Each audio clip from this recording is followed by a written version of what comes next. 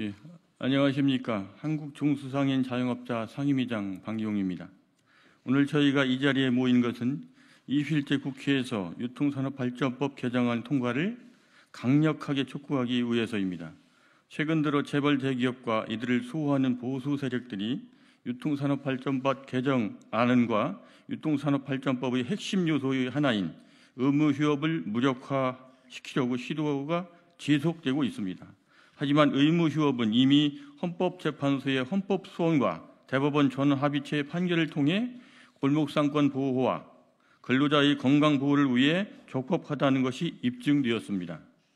더군다나 현재 코로나 시국에서 중소사인 자영업자들을 위한 보호는 더욱 강화해야 합니다.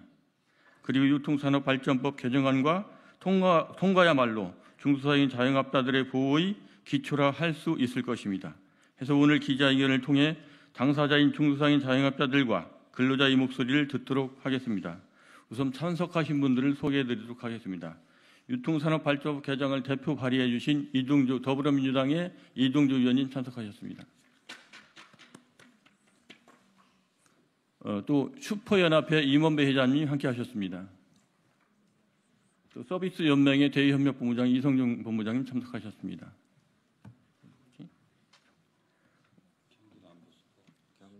경인 경기 남부 경기 남부 슈퍼 네, 회장님 참석하셨습니다. 또 김병 자영업자 소상공인 김병배 공도회장님 참석하셨습니다. 전국 유통상인연합회 조종목 회장님 함께하셨습니다. 전국 마트연합회 차길동 이사님 함께하셨고요. 한국 리폼사업협회 김, 김복철 회장님 함께하셨습니다.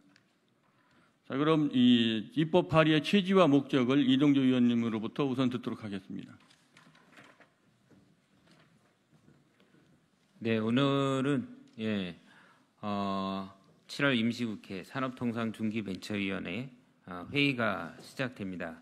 오늘서부터 해서 어, 8월 4일까지 예, 상임위 회의를 거쳐서 중소상인 오늘 어, 보호입법인 유통산업발전법 등을 비롯해서 많은 법안들을 같이 논의하게 될 예정입니다. 아, 유통산업발전법과 관련돼서는 앞에 취지 관련된 말씀을 하시면서 언급이 됐습니다. 아, 과거 2010년도서부터 골목상권의 대형마트와 SSM 등 대기업 유통업체들이 아, 우후죽순으로 출점을 하면서 골목상권에 막대한 피해를 아, 줬습니다. 그 이후로도 대기업 프랜차이즈 편의점들과 어, 복합 쇼핑몰, 그다음에 어, 대기업 유통업체들이 운영하는 어, 이른바 이제 온라인몰까지 어, 확장을 하면서 전방위적으로 중소유통 상인들은 설 자리를 잃고 있습니다. 그래서 과거에 2010년, 12년도를 거치면서 골목상권과의 상생 정책을 담은 이른바 대형마트 의무휴업과 그 다음에 전통상업 구역, 구역을 내에는 출점을 금하는 이런 내용으로 해서 유통산업발전법이 수차례 개정이 됐었고요. 최근에는 이렇게 초대형 대형마트의 20배에서 30배 크기인 복합 쇼핑몰로 진화되고 있는 유통업체들에 대한 무, 무분별한 골목상권 확장을 규제하자라는 취지에서 제가 저를 비롯해서 여야 의원들이 어, 한 10분이 유통산업발전법 개정안을 어, 발의를 했습니다. 어, 저희는 오늘 여기 참여하신 현장의 골목 상권의 민생 경제를 책임지고 계시는 유통업에 종사하시는 분들과 함께 대, 기울어진 운동장 대기업 중심으로 어, 시장이 독과점 형성이 되고 있는 유통시장의 현장을 좀 바로잡고 우리 골목 상권 상인들의 생존권을 보호하는데 어, 민생을 보호하는데 21대 국회가 앞장설 수 있도록 어, 최선을 다하겠습니다.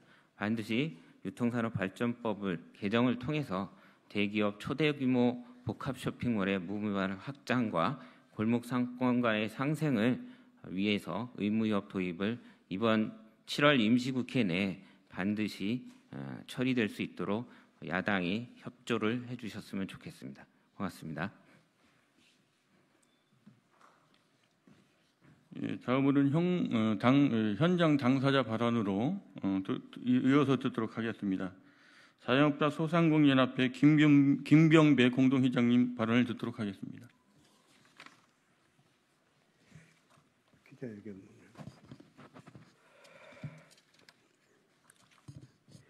예, 자영업 소상공인 연합회 공동회장을 맡고 있는 김경배입니다. 아, 지난 기자회견문입니다. 지난 20대 국회에서 중소상인 자영업가 그리고 노동자의 간절한 바람에도 불구하고 유통산업발전법 개정안이 국회의 높은 문턱을 넘지 못했습니다.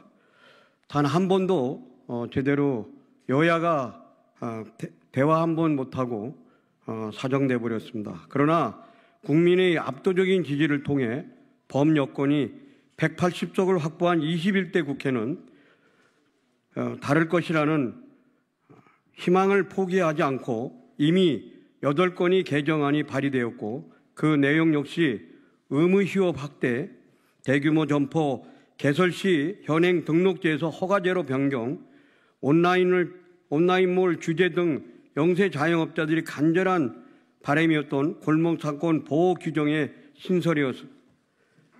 그러나 이를 두고 유통 대기업과 이들을 수호하는 보수 언론들이 대기업에 가해지는 규제가 과도하다는 연일 맹공을 퍼붓고 있습니다. 특히 유통산업 발전법의 핵심 가운데 하나인 의무휴업 제도를 무력화하기 위해서 시도가 끊이지 않고 있습니다. 최근에는 코로나19로 극심하게 위축된 소비를 살려보고자 시행했던 동행세일 기간 동안 의무휴업 완화를 요구하기도 했으며 코로나19 피해를 들먹이며 21대 국회에서는 유통법 개정안 통과를 저지하려는 총력전을 펼치기도 했다. 이미 2013년 헌법재판소는 대형마트와 기업형 슈퍼마켓에 대한 심야 영업시간 제한, 의무 휴업, 휴일을 규정한 것의 기본권 등을 침해한다는 유통 대기업들이 헌법소원 사건을 재판관 전원 일치의 의견을 각하했다. 또한 2015년 대법원 전원 합의체를 합의체는 유통 대기업들이 영업시간 제한과 의무휴업 처분을 취소하라는 취소하라며 낸 소송에서 건전한 유통질서 확립, 근로자의 건강과 보, 건강권 보호 및 유통 중소유통업과의 상생 발전 등 규제로 달성하려는 공익은 중대하고 보호돼야 할 필요성이 크다라며 최종적으로 의무휴업 제도는 적법하다는 판결을 내렸다. 그럼에도 끊이지 않는 유통 대기업들의 의무휴업 무력화 시도는 결국 반원적인 처사인, 처사이며 시대 정신을 정면으로 위배했다고 할 수 있습니다. 현재 대한민국은 코로나19로 인해 초유익 국가재난 상황을 맞이하고 있, 다 그, 그리고 코로나19 다시 한번 우리 경제 규조의 최고 취약계층인 어디인지를 적나라하게 드러내고 있다. 바로 영세 중소상인 자영업자들이 OECD 7위에 해당하는 25%에 해당하는 이들이 무너지면은 이는 곧 대한민국의 서민 경제의 근간을 무너지는 것이라고 할 수 있다. 그동안 유통 대기업들은 대형 할인점으로부터 시작해 SSM, 상품 공급점, 드럭스토어에 이어 최근에는 복합 쇼핑몰과 가맹점인 SSM 노브랜드까지 업태를 바꿔가며 문어발 확장을 통해 시장을 침탈해왔다. 더군다나 물류 배송을 기반으로 한 대, 유통 대기업들이 온라인 상점의 성장은 골목 상권을 더욱 위협하고 있다. 지금은 의무 휴업을 무력화시킬 때가 아니라 오히려 그 범위를 확장하여 골목 상권을 더욱 폭넓게 보호하고 근로자들이 건강권을 보호해야 할 때다. 이는 단순히 대기업의 영업 활동에 대한 규제가 아니라 대한민국의 헌법이 규정하고 법률로 보호해온 가치다. 이제 골목상권 보호를 위해 국회의 시간이 돌아왔다. 입법기관인 국회는 지금 이러한 헌법 수호 정신에 따라 유통산업 발전법 개정안을 통과시킬 것을 강력히 촉구한다. 한국 중소자영업자 총연합회, 자영업 소상공인 연합회, 한국 지역경제살리기 중앙회, 한국 마트연합회, 한국 슈퍼마켓 연합회, 전국 중소상인 연합회, 한국 패션 리폼 중앙회, 한국 편의점 네트워크, 전국 서비스 산업 노동조합 연맹 등 100여 개 단체가 공동 참여하고 있습니다. 이상입니다.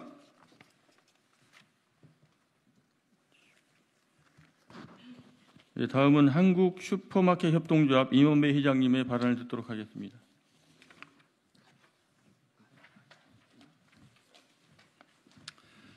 안녕하십니까. 한국 슈퍼마켓 협동조합 연합회 회장 임원배입니다.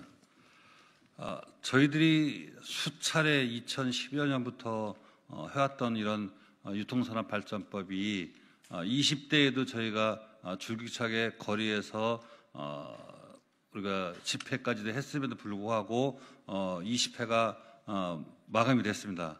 아, 근데 21대에서 어쨌든 어, 우리 이동주 의원님께서 이 유통산업 발전법을 20대에 못했던 것을 21대에 꼭 어, 이뤄야겠다는 그때 집회 같이 했던 분으로서 어, 의원이 돼서 어, 이 의원 입법 활동을 해서 이번에 어, 논의가 되는 상임위에서 어, 20대 때 못했던 어, 유통산업 발전법이 재개정이 꼭 이번 회기에 이번 처음 임시국회에서 통과되기를 강력히 희망하기 때문에 오늘 이 자리에 저희가 섰습니다. 우리 기자 여러분들도 많이 도와주시고 저희 소상공인이 살 수 있는 터전을 만드는 대한민국이 되었으면 합니다. 감사합니다. 예, 다음은 한, 전국 유통 중소유통 상인연합회 조종금 회장님 발언을 듣도록 하겠습니다.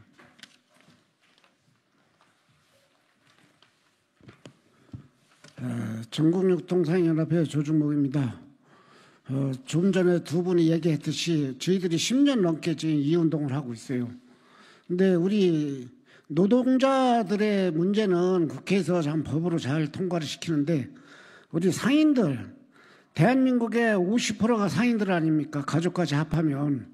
근데 어찌 국회가 선거 때마다 다 상인들 위해서 애쓴다고 하는데 여기만 들어오면 일들을 안 하시는 것 같아요. 그래서 우리 의원님들께서 제발 좀 10년 동안 우리가 여기 제, 제안해 놓은 법들 많이 있습니다.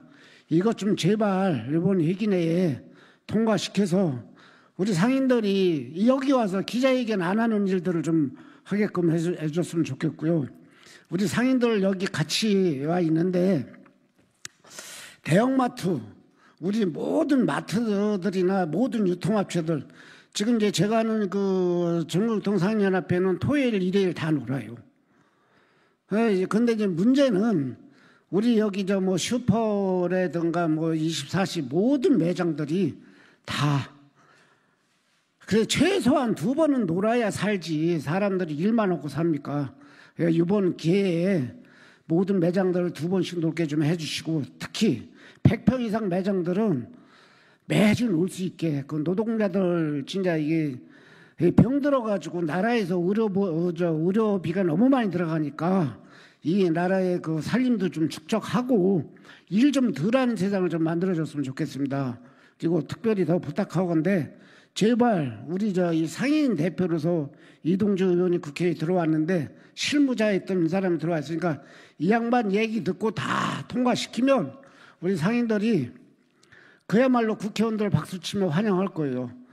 어, 이번에도 통과 안 시키면 이번에 들어왔던 의원님들은 다음 공천에서 배제시켜 줬으면 좋겠습니다. 감사합니다.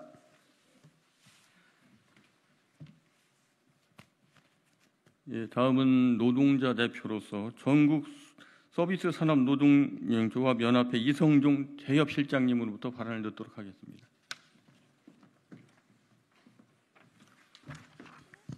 예, 저는 그 유통업종에서 일하고 있는 유통 서비스 노동자들의 이야기를 좀 하려고 합니다.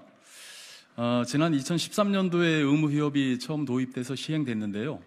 그 직전의 상황을 좀 하나 말씀드리면 마트가 24시간 365일 영업할 때 심야 영업에 투입되는 여성 노동자들이 이 건강권이 심각하다라고 하는 어, 조사 결과를 저희들이 발표를 했습니다. 그리고 어, 국제암학회에서는 어, 심야 노동이 2급 발암 물질로 이미 규정을 하고 어, 그렇게 에, 이 심야 영업을 좀 공- 어, 금지하는 내용의 권고를 한 적도 있고요.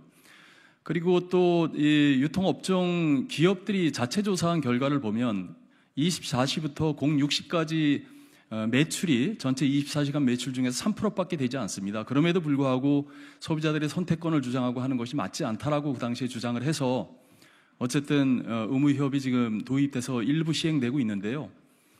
어, 유통 사- 시장이 많이 변화되고 있습니다. 여러분 혹시 백화점에 가보신지 모르겠지만 백화점 지하 1층에 가면 마트가 다 들어서 있습니다. 마트가 입점돼 있습니다. 롯데 백화점에 롯데 슈퍼가 입점돼 있고 어, 신세계 백화점에 이마트가 입점돼 있습니다. 마트화 됐습니다.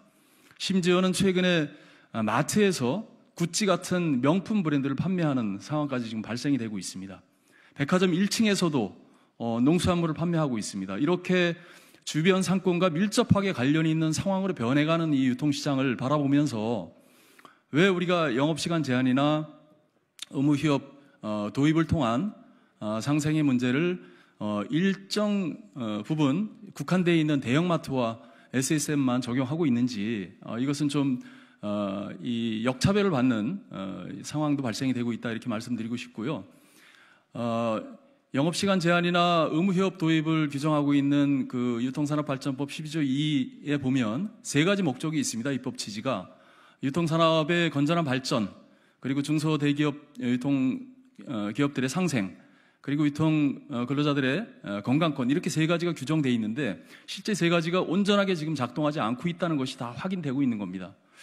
그래서 코로나 19로 인해서 여러 가지 경제가 어렵고 어, 힘들다 이렇게 이- 이야기하면서 유통산업발전법을 추가로 개정하고 의무휴업을 더 확대하고 영업시간 제한하는 것은 규제다 이렇게 어, 이야기하시는 주장하시는 분들이 많지만요 실제 그렇지 않거든요. 이미 온라인 시장이 굉장히 확대되고 있기 때문에 오프라인 시장은 축소되고 있습니다. 이런 상황 시장의 상황을 반영해서 어, 입법 취지대로 어, 우리가 일정하게 유통법을 개정해서 서로 상생도 하고 일하는 사람들의 건강권도 좀 우리가 챙겨줄 수 있는 그러한 어, 전향적인 좀 사고를 해야 될 시기가 아닌가 이렇게 생각이 됩니다. 그래서 어, 이번에 이제 어, 상임위가 열리게 되고 어, 또 본회의가 열리게 되면 유통산업발전법이 민색법이라고 하는 것은 다 알고 있기 때문에요. 어, 이번에 반드시 좀 통과가 돼서 어, 입법 취지가 좀 실현이 됐으면 좋겠다는 말씀을 드리겠습니다. 예, 고맙습니다.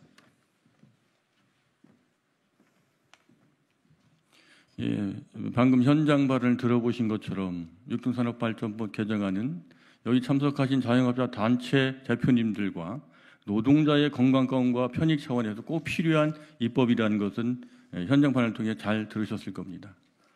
아, 뿐만 아니라 600만 자영업자 거의 모두의 염원이 담긴 열망이 담긴 유통산업 발전법 개정안이라고 생각합니다. 국회 지형이 예, 20대 국회 들어서 바뀐 것처럼 180석이 넘는 가까운 정부 여당의 예, 강력한 추진력으로 유통산업발전법 개정안이 21대 국회에서는 꼭 통과되기를 간절히 촉구하며 오늘 기자회견을 마치도록 하겠습니다. 감사합니다.